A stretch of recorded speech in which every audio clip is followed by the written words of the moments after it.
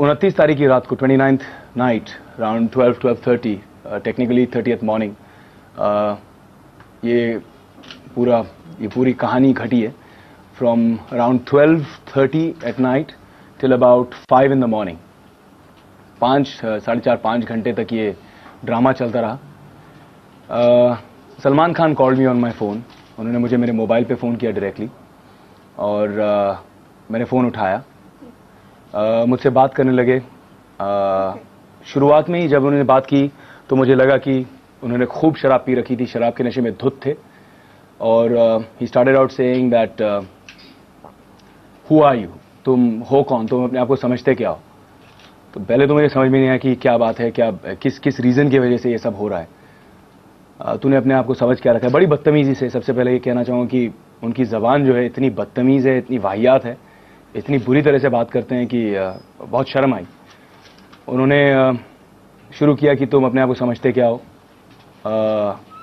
तुम मेरी तरह बुरे इंसान हो। बहुत ज़्यादा ऐसी बातें हुई हैं। अगर आप लोगों ने कभी सलमान से पहले बात की है और स्पेशली अगर शराब के नशे में बात की हो तो आप जानते होंगे कि वो जब बात करते हैं तो आधा तो आप समझ नहीं पाते हैं कि ये क्या बोल रहा है आदमी। कुछ ठीक से समझ में नहीं आ रहा। उन्हें कहा कि, तुम मेरी तरह हो। You just like me you you're a bad guy just like me so मैंने उनसे कहने की कोशिश की देखो Salman don't compare you and me तुम्हें कोई बात करनी है तो बात करो मैं तुम्हारी तरह नहीं हूँ। Uh, तुम में और मुझमें बहुत फ़र्क है। मुझे मालूम है कि औरतों की इज़्ज़त कैसे की जाती है मुझे मालूम है कि लोगों की इज़्ज़त कैसे की जाती है। मुझे मालूम है कि बुरी ज़बान और बुरे एटीट्यूड से पेश नहीं आना चाहिए। और मैं बहुत अलग किस्म का इंसान हूँ जहाँ पे I help people and I have a different outlook towards life rather than threatening and abusing and bullying people so don't talk to me about that if you have an issue clear it talk to me so he started asking me who am I seeing कि मेरा चक्कर या मेरा affair किसके साथ चल रहा है? तो मैंने कहा that's none of your business सबसे पहले तो मेरा कोई अफेयर नहीं है, कोई चक्कर नहीं है. मेरी बहुत लोगों के साथ अच्छी दोस्ती है. और फिर वहाँ से बात शुरू हो गई। और एक के बाद एक, उन्होंने नाम के बाद नाम लिए। एंड मैं दंग रह गया हूँ। ही स्टार्टेड टॉकिंग उन्होंने ऐश्वर्या का नाम लिया। उन्होंने दिया मिर्ज़ा का नाम लिया। रानी मुखर्जी का नाम लिया। उन्होंने आ, सोमी अली तक का नाम लिया।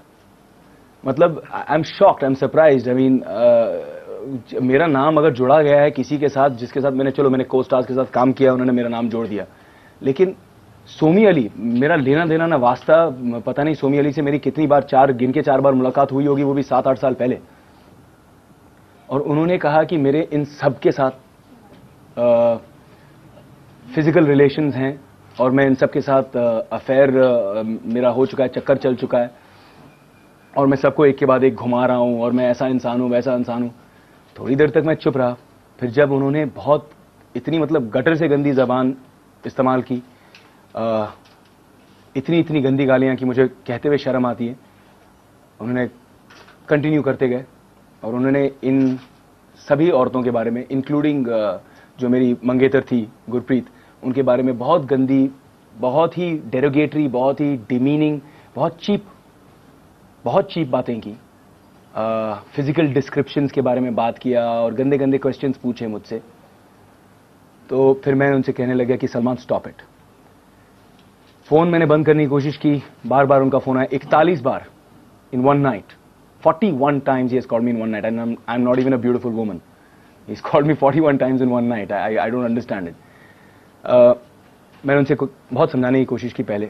जब उन्होंने इस तरह से गंदी बातें करने लगी मैंने कहा सलमान नाउ इनफ अब आप इससे आगे कुछ कहेंगे? You are spoiling the relation that has been between me and your brothers because Sohail and Arbaaz are my friends in fact Salim uncle has blessed me in the beginning of my career and has advise me about how I should go about it and set my father and Salim uncle इतने पुराने दोस्त रह चुके हैं कि जब मेरे father struggler थे यहाँ पे तीस साल पहले इंडस्ट्री में आए थे तब सलीम अंकल से सलाह मशुरा करते थे।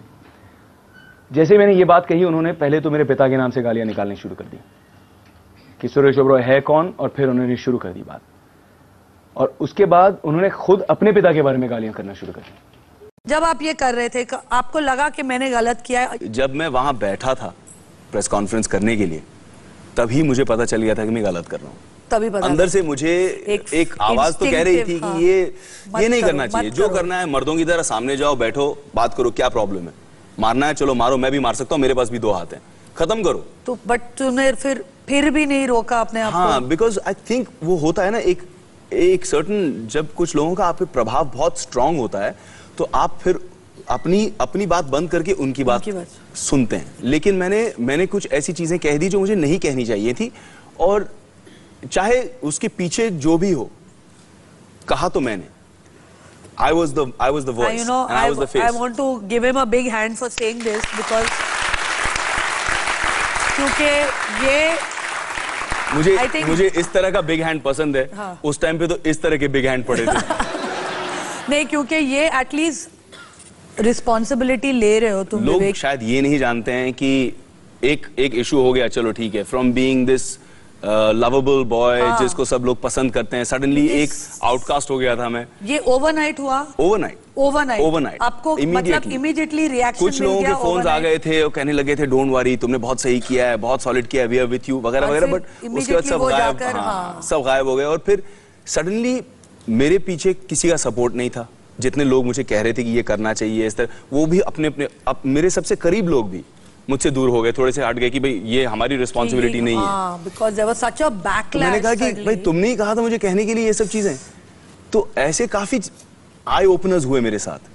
वो शुरुआत की बात थी लेकिन उसके बाद जिस तरह से कंटिन्यू हुआ हर अवार्ड फ़ंक्शन पर धज्जियाँ उड़ाई गई मज़ाक उड़ाया गया। मुझे तो एक अवार्ड फ़ंक्शन से लेटर मिला था कि you have won this award for you know your film company etcetera etcetera और उसके बाद मुझे कहा गया कि आप एक काम करें, फिर आप अवार्ड पे आए ना और उठाकर वो अवार्ड किसी और एक्टर को दिया गया।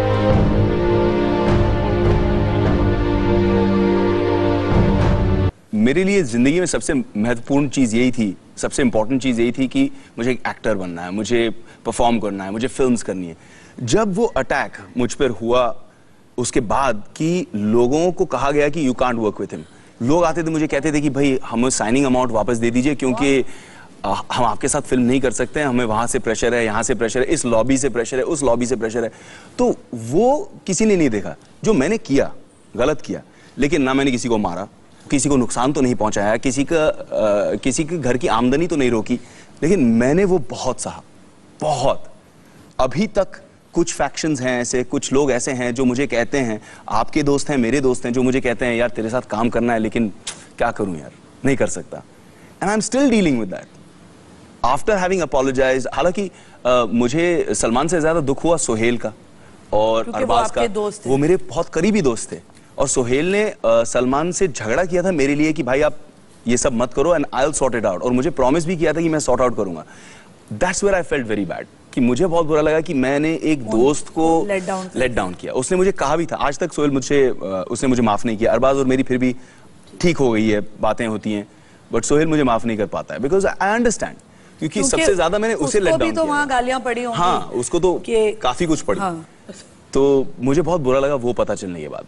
But was it like starting all over again या with the handicap it was starting minus with a major minus और इसीलिए जिन लोगों ने मुझे तब सपोर्ट किया मैं उन लोगों को कभी नहीं भूलूँगा। जैसे आपने।